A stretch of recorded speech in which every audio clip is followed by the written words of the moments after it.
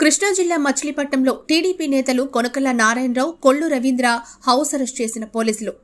ఈ సందర్భంగా కొనకల నారాయణరావు మీడియాతో మాట్లాడుతూ గన్నవరంలో వైసీపీ రౌడీ ముక్కలు నియోజకవర్గ కార్యాలయంలో చొరబడి చేసిన విధ్వంసంలో తెలుగుదేశం పార్టీ కార్యకర్తల మీద నాన్ బెయిల్ కేసులు పెట్టడం చాలా దారుణమని సొంత బాబాయ్ హత్య కేసులో రాష్ట్ర పోలీసు వారు నిజాలు తీర్చలేకపోయారు గాని సీబీఐ ద్వారా రోజురోజుకు నిజాలు బయటకొస్తున్నాయి.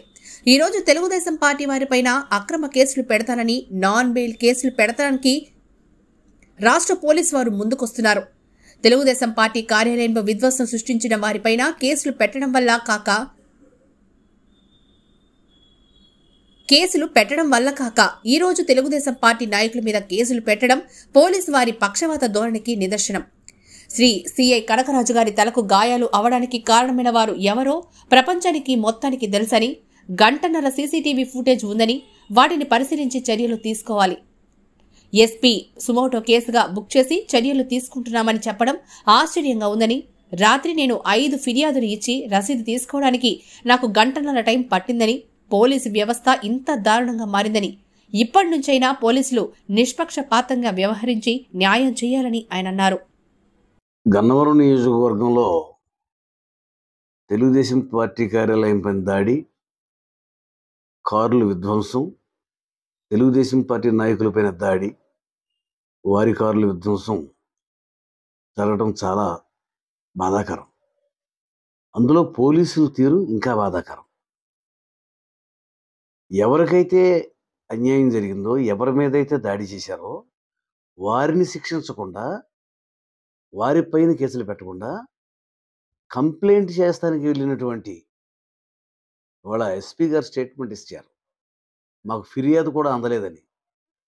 ఫిర్యాదుదారులందరినీ మీరు అరెస్ట్ చేసి జైల్లో పెట్టి వాళ్ళ మీద బెయిల్ రాని చట్టాలు ప్రయోగించి వారికి రాజమండ్రి సెంట్రల్ జైలుకి పంపించేస్తే ఫిర్యాదు ఎవరు ఇవ్వగలరండి ఫిర్యాదుదారుల్ని తెలుగుదేశం పార్టీ అందరినీ కూడా భయభ్రాంతులను చేసేసి పోయి అక్కడ అందుబాటులో ఉన్న వాళ్ళందరినీ కూడా తెలుగుదేశం పార్టీ నాయకులందరి మీద తప్పుడు కేసులు బనాయించి జైలుకి పంపిస్తే మాకు ఫిర్యాదు రాలేదు. ఫిర్యాదు ఇవ్వటానికి వచ్చినటువంటి పట్టాభిని ఏం చేశారు? పట్టాభిని కొట్టారు. తెలుగుదేశం పార్టీ ఆఫీసులో వైఎస్ఆర్ పార్టీకి చెందినటువంటి దౌర్జన్యకారులు పట్టాభిని కొట్టారు. కారు ధ్వంసం చేశారు. ఆయన దగ్గర మీరు రిపోర్ట్ తీసుకోవచ్చుగా? మీ సమక్షంలోనే ఉన్నాడుగా? ఫిర్యాదు తీసుకోవచ్చుగా? ఫిర్యాదు తీసుకోకుండా అతని మీదే తప్పుడు కేసులు బనాయించి అతని వల్లే ఇదంతా కూడా ఈ సమస్య అంతా ఉత్పన్నమైందని చెప్పి ఒక కొత్తగా కేసు క్రియేట్ చేశారు. ఇవాళ పోలీసు వారు అతన్ని థర్డ్ డిగ్రీ ప్రయోగించి పని పోలీస్ స్టేషన్ తిప్పాల్సిన పని ఏంటండి? ఎన్ని పోలీస్ స్టేషన్ తిప్పారు మీరు? అంత అవసరం ఏంటి అసలు మీకు? తిప్పి స్టేషన్ స్టేషన్లో కూడా అతన్ని కొట్టుకుంటూ తీసుకెళ్ళారు ఆ దెబ్బలంటే బలంగా లేవంట డాక్టర్ సర్టిఫికేట్ ఇచ్చాడు. దెబ్బలు కొట్టిన తర్వాత నయమైపోతాయి. ట్వంటీ ఫోర్ అవర్స్లో దెబ్బలు మా తగ్గుముఖం పడతాయండి. శరీర తత్వాన్ని బట్టి. ఇవాళ రోజున చిన్న దెబ్బలా పెద్ద దెబ్బలని కాదు. దెబ్బలనే తగిలినాయి. డాక్టర్ గారు చెప్పారుగా చిన్న చిన్న గాయాలని చిన్న చిన్న గాయాలు అయితే కొట్టచ్చా? మీరు కొట్టిన పోలీసులు కొడితే దెబ్బలు కనపడతాయా? పోలీసు వారి గురించి ప్రపంచానికి తెలియదా కనపడకుండా కొట్టడమే మీ ఎక్స్పర్టీజం కొట్టి గాయాలు మానిపోయేదాకా కూడా అతన్ని అక్కడ తిప్పి ఇక్కడ తిప్పి అక్కడ తిప్పి ఇక్కడ తిప్పి డాక్టర్ గారితో సర్టిఫికేట్ ఇప్పించారు. గాయాలు బాగా బలంగా లేవని. బలంగా ఉండాలా? చిన్నగా ఉంటే చిన్నగా అయితే కొట్టచ్చా? ఏంటండి అది ఇవాళ ఫిర్యాదు ఇవ్వలేదంటారు. ఫిర్యాదు ఇవ్వటానికి దొంతు చిన్న ఇంటి మీద దాడి చేశారు. దొంతు చిన్నని తీసుకెళ్ళి జైల్లో పెట్టారు.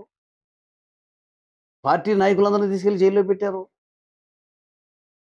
ఫిర్యాదు చేయడానికి కారు తగలడిపోయిన పట్ట మీతోనే ఉన్నాడుగా? ఫిర్యాదు ఎవరు ఎవరిస్తున్నారు మీరు?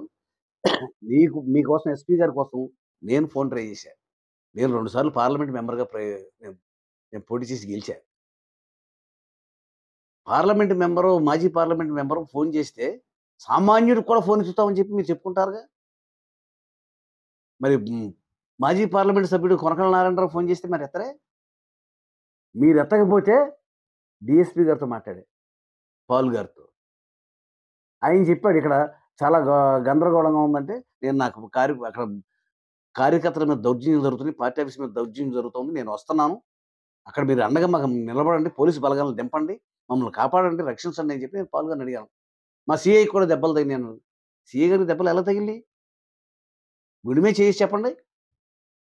వైఎస్ఆర్ పార్టీ దౌర్జన్యకారులు.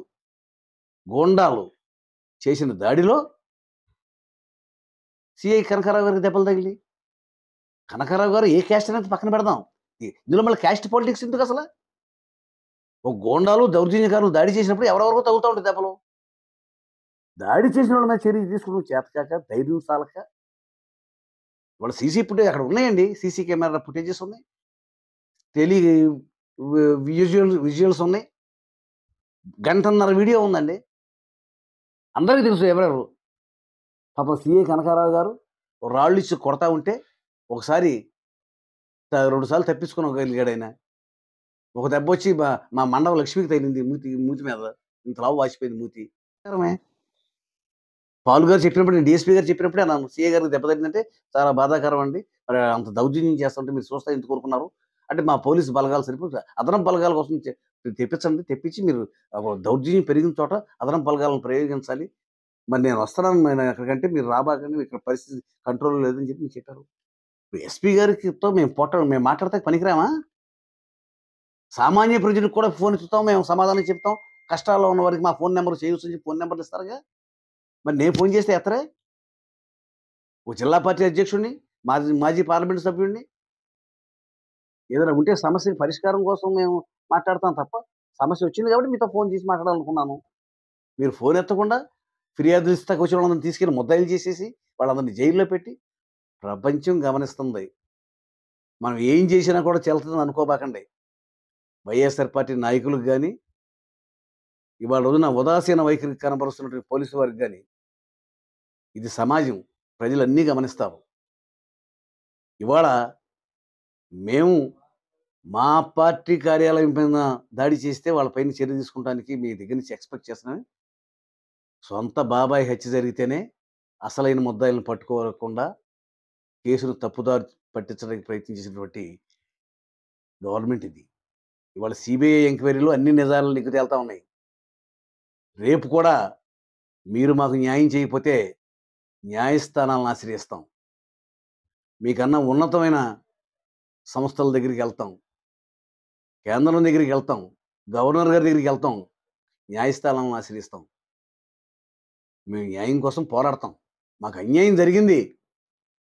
మా కార్యాలయాల పైన దాడి చేసిన వారి పైన ఇంతవరకు మీరు అరెస్ట్ జైల్లో పెట్టారా?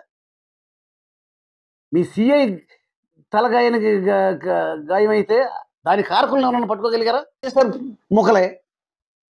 స్పష్టంగా కనపడతా ఉంది. తగలబెట్టింది వైఎస్ఆర్ పార్టీ వాళ్ళే.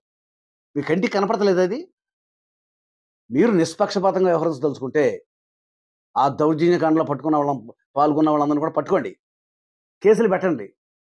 మా వాళ్ళని బేషరతుగా వదిలిపెట్టండి. మా వాళ్ళు ఏం చేశారని కేసులు పెడతారు మీరు? బెయిల్ రావడానికి వీలైన చట్టాలు పెడతారా? సెక్షన్లు పెడతారా? ఏం ఏం చేశారండి? పోలీసుల చేతిలో తన్నులు తింటామా? లేకపోతే వైఎస్ఆర్ గుండాల చేతిలో తన్నులు తింటామా? మా ఆఫీస్ తగలబెట్టించుకుని మా కారులు తగలబెట్టించుకుని మేము ముద్దాయిలుగా జైలు వెళ్తాం చాలా చాలా గొప్పగా ఉంది ఇది చాలా వింతగా ఉంది. దయచేసి ఇటువంటి ధోరణి పోలీసు వారు నిష్పక్షపాతంగా ఉండాలండి. నేను చాలా కాలంగా పోలీస్ వ్యవస్థను ఎరుగున్నాను ఎట్టి పరిస్థితిలో వాళ్ళు నిష్పక్షపాతంగా ఉంటేనే ప్రజల హృదయాల్లో స్థానం సంపాదించగలరు రాజకీయ పార్టీలు మారుతూ ఉంటాయి.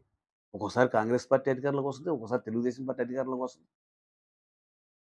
మీరు మాత్రం న్యాయాన్ని పరిరక్షించే మనుషులుగా ఉండాలి తప్ప అధి అధికారంలో ఉన్న వాళ్ళు ఏం చెప్తే అది మీరు గనక ఫాలో అయితే పోలీసుకు ఉన్న గౌరవం పోతా ఉంది.